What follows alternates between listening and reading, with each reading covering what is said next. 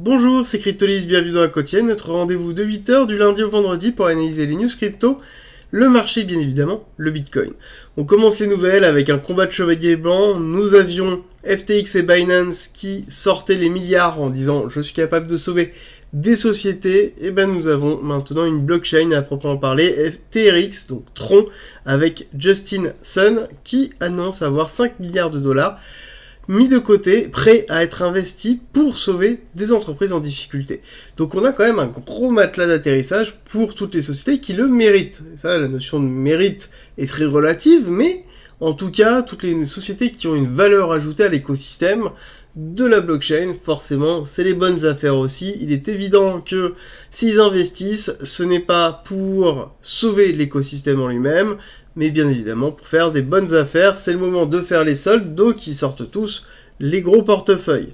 On continue derrière avec des levées de fonds pour vous montrer que bah, le bear market il n'est pas pour tout le monde et que euh, c'est le moment de construire, comme on, l'a dit plusieurs fois, c'est que quand on est dans, dans une phase de correction agressive comme celle-ci, c'est le moment où les sociétés pérennes vont se mettre tout simplement à construire, à développer et à développer des nouveaux produits, sortir des nouveaux produits, ou en tout cas préparer la prochaine accélération. Cette phase d'hibernation est positive et aussi c'est là où on récupère des fonds de venture ou de capitaux euh, de hedge funds qui sont là pour investir. Donc nous avons deux grosses levées de fonds. La première vient de Convoy Venture qui a un fonds à 150 millions de dollars dédié au jeu et au Web3, donc une petite levée de 150 millions de dollars pour vraiment la gamification et le Web 3. Et ça c'est quelque chose qu'on va retrouver aussi. est-ce que ce sera euh, l'avènement sur la fin 2022 voire 2023 Est-ce qu'on est en train de préparer euh, la prochaine phase du, prochain bull run qui sera la gamification? Euh, À voir. Nous avons Planetarium Labs qui a levé 32 millions de dollars pour les jeux sur blockchain. Donc on a beaucoup de financements qui sont en train d'être injectés. En tout cas de levée de fonds préparés pour faire du financement. Et c'est intéressant de voir que le beer market, bah, euh, on continue toujours à acheter. C'est une des raisons. J'ai bien aimé sur Twitter, il y avait euh, deux mimes qui ont tout leur sens, qui est bah, le BTC. À 70 000, tout le monde en voulait. Le BTC à 20 000, plus personne en veut. Pourtant, la technologie, c'est la même. Il n'y a rien qui a changé. Juste une notion de psychologie. Si vous êtes là à m'écouter, c'est que je pense que vous connaissez déjà tout ça et que vous êtes prêt et ça, c'est le plus important parce que bah, il n'y a rien qui a changé. Il y a toujours des fonds, il y a toujours de l'investissement massif.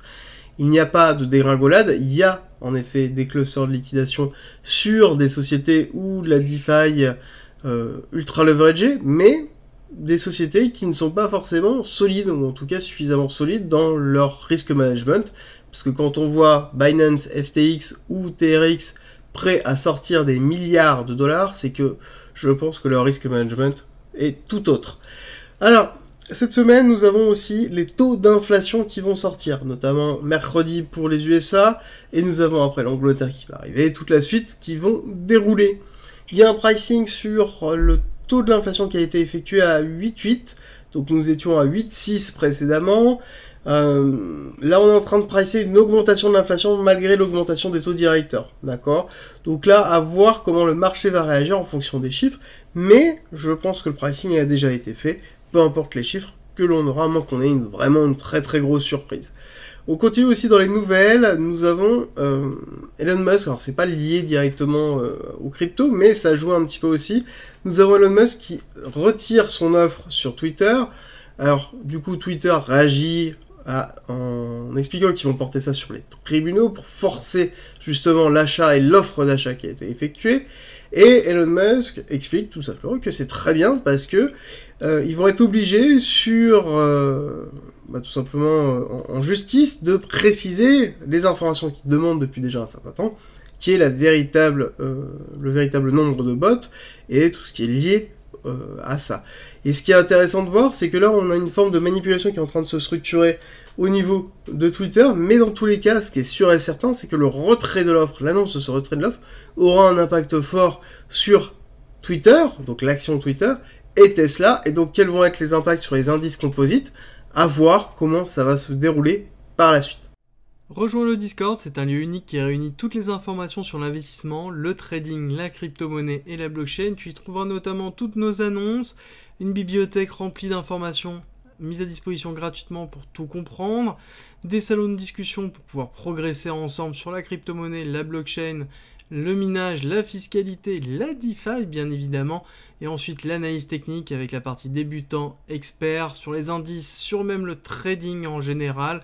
Ensuite tu as la partie communautaire avec nos signaux bien évidemment, et ensuite les services communautaires, donc de la communauté à la communauté, ainsi que les annonces de recrutement et des salons de discussion pour discuter de chacun des coins, de tes coins préférés. Ensuite, en étant membre du Discord, tu as accès à cryptolis.fr avec plein de guides écrits mis à disposition gratuitement, ainsi qu'un ensemble de vidéos mises à disposition gratuitement, sur lequel tu vas y retrouver bah, plein d'informations pour pouvoir te former notamment sur la psychologie, la DeFi, l'investissement, le trading, l'analyse technique bien évidemment, ainsi que les futurs, la gestion des futurs, construire sa propre stratégie, comprendre la technologie de la blockchain et encore avoir accès aux lives, tout simplement rediffusés, qui sont sur le Discord où on traite justement de sujets d'actualité et on discute ensemble et on va plus loin. D'ailleurs, si tu veux aller plus loin, le premium est à disposition et n'hésite pas à nous rejoindre sur le Discord et à poser des questions dessus. Tu auras toutes les informations. Si tu aimes mon contenu, like, partage et abonne-toi, ça m'aide énormément. On a terminé avec la partie fondamentale, on attaque la partie technique. Petit rappel habituel, nous sommes dans notre schéma héliotiste vague 1, vague 2, vague 3 terminé en avril 2021. Structuration d'une 4 à l'heure actuelle. Retracement effectuant A, B, C. Un B avec extension, un C avec extension. Extension très forte. Hein. On est allé chercher le 382. On a comblé le, le, gap CME qui se trouve ici. Mais durant cette chute, cette grande C, nous avons laissé deux gaps haussiers CME un sur l'UST dans les 34-35 et un dans la crise de liquidité de Celsius 27-28 sur lequel on est amené à un moment donné à aller les combler. Est-ce que c'est maintenant ou pas? Est-ce qu'on va descendre plus bas? Nous avons des objectifs toujours qui se trouvent dans les 14 000 et dans les 10 000 où on sait qu'on a un ordre bloc et des objectifs de prolongation de Fibonacci sur les différentes impulsions baissières. Donc on a ce momentum où on sait que euh, on peut descendre en effet plus bas. Je vous ai fait notamment une vidéo samedi, je vous invite à aller la regarder si ce n'est pas déjà fait sur le BTC avec la notion de l'inflation et la pérennisation de l'inflation par rapport euh, aux différentes euh, hypothèses possibles du BTC et la structuration que l'on pourrait avoir par la suite. Alors, nous avons euh, à côté une semaine ici qui s'est effectuée, une semaine qui s'est clôturée, donc la semaine dernière, euh, plutôt dans le vert, plutôt dans le vert, une bonne semaine, mais on voit que le début commence à être déjà assez négatif, et surtout si on regarde, nous avons euh, malheureusement une bougie qui manque de puissance, qui manque de volume, qui s'est fait ravaler partiellement quasiment la moitié sur cette fin de semaine. Et euh, c'est signe qu'il manque en fait un engouement. Il y a toujours cette crise de liquidité très forte qui, est latente, qui est valable sur l'ensemble du marché. Hein, bien évidemment, quand on est en récession et en contraction monétaire, on a une diminution de la liquidité générale du marché financier, ce qui est en plus et voire même, on pourrait même dire d'autant plus vrai sur le BTC, parce que le BTC est un actif risqué, donc forcément quand on a une crise financière une contraction de la liquidité, on sort la liquidité des actifs risqués, donc forcément on a d'autant plus une contraction, et au sein même de euh, l'écosystème crypto-monnaie, avec la crise de Celsius et les STETH, nous avons une deuxième crise de liquidité qui est réelle et qui n'aura de finalité que lorsqu'il y aura une libération des STETH ou un retour à la parité avec une injection de liquidité massive. Ce qui n'est pas euh, prêt d'arriver tout de suite, en tout cas dans les minutes qui arrivent. Donc on, garde cette idée-là et c'est logique d'avoir ce type de bougie tant que nous n'avons pas de liquidité euh, dessus. Ce sera très difficile de repartir, que ce soit à la hausse ou avoir des très gros mouvements baissiers. Très gros mouvements baissiers, pourquoi ça va être compliqué? Parce que pour avoir des mouvements baissiers de ce style-là, il faut avoir des clusters de liquidation massifs et donc il faut avoir de la liquidité pour forcer les personnes à se placer en levier pour créer des clauses sur liquidation, ce qui est pas encore le cas. Quoique, vous allez voir, notamment au niveau de l'ordre flow tout à l'heure. Alors, petit retour en une heure, voir ce qui s'est passé. Petit rappel, nous sommes dans cette chute euh, qui a eu lieu euh, jusqu'au 17-18 juin, où nous avons laissé ici le psy, le SC, la R, la ST, la R. Donc on est dans une accumulation de Wyckoff, quelque chose qui a vocation à être bullish, mais pour la valider, il faut faire un plus bas au niveau du SC, il faut break ici. Alors, euh, d'ordre général, c'est quand on regarde toujours une accumulation de Wyckoff, on se dit toujours qu'on a SC, AR, ST, on casse la R break haussier, sur lequel après on va aller break la partie basse, faire un STB à minima avant de faire un retest et repartir. Ce qui est logiquement vrai. Mais la conceptualisation de l'accumulation de Wyckoff, c'est créer de la liquidité, récupérer cette liquidité pour déclencher un mouvement haussier. C'est le principe de l'accumulation. Est-ce que cette liquidité se trouve ici ou est-ce que cette liquidité se trouve réellement là? Ça, c'est à déterminer. C'est ce qui va déterminer où se trouvera réellement le STB. ça, c'est une petite aparté pour préciser que les Wickofiens, il ne faut pas suivre les charts à la, lettre et il faut bien comprendre le concept pour pouvoir déterminer où se trouve réellement l'accumulation. Alors, ce qui est intéressant de voir, c'est que nous avons fait une distribution ici, en BC, ARST, SO, UT. Le break a été fait, break du saut, qui assure ici de la distribution. On a eu une réaction haussière avec une création de liquidité forte et une accélération avec la mise en place d'une autre distribution qui s'est structurée avec un UTAD qui se trouve ici.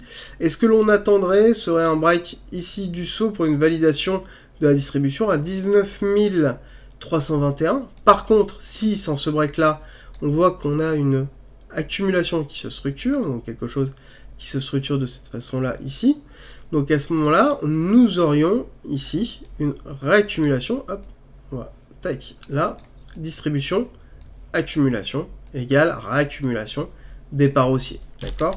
Donc là, on aurait une continuité haussière. Continuité haussière, oui, oui, qui irait jusqu'où?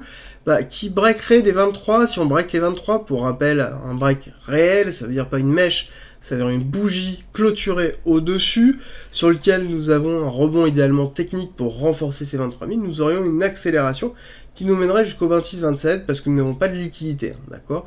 Donc là, ce que l'on peut attendre, c'est en effet, si jamais on a une structure d'accumulation, ce serait une cassure des 23 pour aller chercher plus haut, beaucoup plus haut, les 26-28. Alors, est-ce qu'on a ça pour l'instant qui est en train de se profiler? Clairement, non. Euh, clairement, nous sommes maintenant en zone de, euh, de survente. Donc, là-dessus, on pourrait se dire qu'on pourrait avoir une petite réaction haussière qui serait intéressante, pourquoi pas, mais qui serait, de tous les cas, contrôlée. Pourquoi? Parce que là, nous avons la mise en place euh, d'un schéma de distribution qui est structurel, sur lequel on pourrait avoir un retest d'une zone, par exemple la zone des... Hop, celle-là, cette zone de... Hop, on va agrandir un petit peu. Cette demande zone qui se trouve ici, pour récupérer les 21 300, 21 000, voire même un tout petit peu plus, 21 500, pour aller taper cette zone ici pour pouvoir après faire une continuité baissière. Ça, c'est ce qui pourrait nous être indiqué ici. Néanmoins, on peut descendre beaucoup plus bas et très vite. Hein. Moi, c'est un petit peu l'optique que j'ai, c'est une continuité baissière avec une ouverture possiblement des marchés américains assez dans le rouge euh, et potentiellement après une réhausse sur la fin euh, de semaine avec après l'annonce en fait de l'inflation, à voir exactement comment ça va être pricé et surtout à quel point ça a déjà été pricé. Mais pour moi, j'ai tendance à penser qu'on va aller casser le saut, qu'on est dans une impulsion baissière forte, avec un break du saut, validation de la distribution, et qui assure ici du ST de ce niveau-là pour récupérer les liquidités. Pourquoi? Parce que nous avons toujours beaucoup, beaucoup de liquidités qui se trouvent ici, qui sont en attente de cette création de liquidité, de cette hausse, qui a entraîné la création de liquidité. Alors la, la liquidité basse se trouve quand même très basse aussi. Hein. On a un gros cluster en dessous de 20 000, ça va 20 000 jusqu'à 17 500. Donc on a quand même grosse grosse liquidité. Après, on peut descendre beaucoup plus bas. On peut descendre jusqu'au 14 000, euh, sur lequel on a beaucoup beaucoup de liquidité. Après, un petit peu moins dans, dans, la vague des 14 à 12 000, sur lequel on a moins. Mais cette chute a entraîné la création de liquidité de short, chose qu'on n'avait pas avant, et sur lequel on commence à avoir un petit peu des shorts qui sont en train de se structurer ici ça reste quand même minime, et qui sont au-dessus des 21 000, entre les 21 000 et les 21 500, d'accord? Donc vraiment dans cette box-là, nous avons pas mal de liquidités, un petit peu au-dessus, mais ça reste quand même minime, pour l'instant c'est très peu structurellement fait, et du coup on pourra avoir en effet cette petite remontée haussière pour aller liquider ça avant de pouvoir redescendre. Donc là, il va falloir surveiller euh, les différents éléments. Pour moi, là on ne fait rien, si vous n'êtes pas positionné euh, normalement, vous êtes censé être positionné ici, comme euh, moi je le suis. Et donc là, vous laissez tout simplement coulez, vous prenez une partie, vous êtes à BE, et vous avez déjà pris une partie de profit, vous attendez tout simplement une caisse sur du saut pour avoir potentiellement un retest, pour pouvoir renforcer votre position derrière pour une continuité baissière. Donc c'est un petit peu l'idée euh, qu'on est en train de structurer dessus, et que l'on attend en termes de continuité, et qui sont en train d'être confortés par la notion d'order flow qu'on va voir tout de suite. Alors, pour l'order flow, nous avons notamment déjà un Fear Green Index qui est repassé, ça y est, dans la peur et puis dans l'extrême peur, nous sommes à 22. Donc ce qui est plutôt positif malgré donc euh, un break qui a été fait. Et ce qui est intéressant de voir, c'est que on a eu ce passage de la totalité des comptes en red, donc ça veut dire majoritairement euh, bearish, donc avec du short ouvert sur la totalité des comptes. Et par contre, à côté, nous avons trouvé euh, pas mal de positions des top traders, donc les grosses grosses positions, qui sont majoritairement en longue, et toujours en longue. Alors, ça reste majoritaire, parce qu'on est à 50, il y a 2, 2% 3% qui, qui, sont euh, en longue. C'est quand même assez peu, mais ça reste quand même conséquent, surtout quand on regarde euh, la corrélation de ces deux courbes ensemble, ça nous permet de nous donner plusieurs informations. On n'oublie pas que ce que l'on avait dit, c'est que plus on allait se diriger ici vers euh, du euh, long short à compte au niveau de la totalité vers du short, plus on allait avoir la possibilité d'avoir une cassure, avec notamment ici une contraction du cours, chose qu'on a eu, euh, augmentation des shorts, contraction des cours au niveau des top traders, on a eu le signal d'une continuité baissière sur lequel on est en train de se structurer, et du coup on le voit bien, parce que là on est en train ici de chuter, qu'est-ce qui se passe? On a une inversion qui est en train de se refaire, donc on a un écartement avec une reprise des longues classique au niveau des tops euh, comptes. Et donc là-dessus, on pourrait avoir en effet une continuité euh, haussière qui pourrait se structurer au moins jusqu'au 21 500 avant de, avant de réavoir une contraction du cours et possiblement ici une contraction forte. Hein. On voit qu'on n'a pas eu de contraction très forte depuis quand même un certain temps. Euh, contraction très forte se trouvait ici et antérieurement, je crois que c'était quelque part par là. Donc là, on est encore majoritairement sur du long, et à savoir que les top traders sont majoritairement aussi à levier, ce qui eux-mêmes créent de la liquidité euh, et une appétence enfin, du cours à aller sur la partie basse, et donc aller faire un long squeeze, aller chercher ces liquidités, ces liquidités des top traders sur lesquels on a du levier. Levier toujours très très très présent. On a fait une hausse hein, quand même quasiment à 120 000 la dernière fois. On est redescendu un tout petit peu au-dessus de 100 000, mais on reste beaucoup, beaucoup trop leveragé. Et c'est une des raisons qui me dit que tant qu'on n'allège pas les leverage, on ne pourra pas avoir un véritable départ. C'est aussi ce qui renforce mon biais, toujours baissier malheureusement, pour aller chercher la liquidité basse, faire diminuer les leviers, alléger le train avant de repartir à la hausse. C'est un petit peu euh, l'idée que j'ai, et à savoir que majoritairement, et ça c'est le gros problème, nous avons des achats qui sont effectués sur le perpétuel, très peu sur le spot, et donc ça veut dire que majoritairement on achète un levier sur le perp, donc sur les exchanges, et on a très peu d'achats réels de BTC qui se structurent, et qui euh, les volumes sont trop faibles pour pouvoir donner un véritable euh, boost réel, un gros pump, une belle session euh, structurelle qui pourrait donner justement l'incentive aux gens de réinvestir et un appel à la liquidité. Alors, au niveau de, du Nasdaq, petit point euh, rapide en, clôture hebdomadaire, on voit qu'on a eu une belle, clôture, une belle semaine, mais on voit que au niveau du Ishimoku, on se retrouve quand même structurellement toujours sur un cycle très baissier, il n'y a rien qui est sous forme d'invalidation. On a un espacement entre la Kijun et la Tenkan, oui, euh, sur lequel on pourrait avoir en effet une structure qui, pourrait être une forme de ranging, le temps d'avoir une structuration et, un resserrement du cours. Mais néanmoins, on voit qu'on a potentiellement un rejet qui est en train de se structurer pour nous amener sur les 10 500, le 618 382 qu'on attend toujours depuis un certain temps. On n'a pas de rebond technique, on n'a pas de break of structure.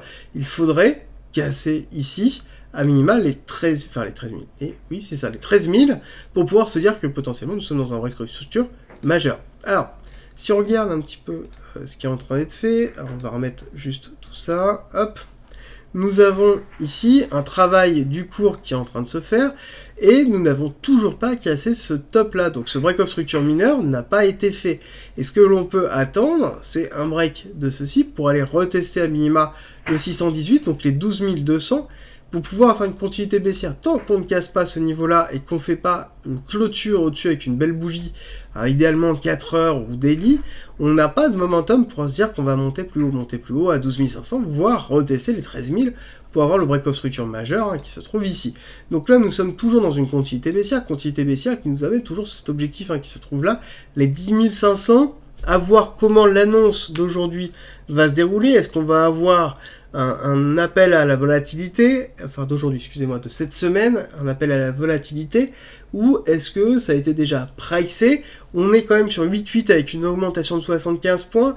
On sait que la prochaine augmentation sera de 75 points, on va pas se leurrer, je pense qu'il y aura peut-être celle d'après encore avant qu'on ait une modification. Et est-ce que on ne devrait pas commencer à avoir un impact sur l'inflation si on reprend euh, le passif avec des augmentations drastiques qui ont été effectuées. Normalement, on devrait commencer à avoir une augmentation de la diminution de l'inflation. Bon, à voir exactement ce qui va être annoncé. Ça va être très intéressant de voir sur juin, mais je pense que euh, dans tous les cas, la véritable diminution sera peut-être à la rentrée. Donc là, on risque d'avoir encore une augmentation du pricing, donc une augmentation de l'inflation. Merci d'être resté avec moi jusqu'au bout. Abonne-toi, partage si t'as aimé et rejoins-nous sur Discord. C'est avec plaisir qu'on t'accueillera. Et à très vite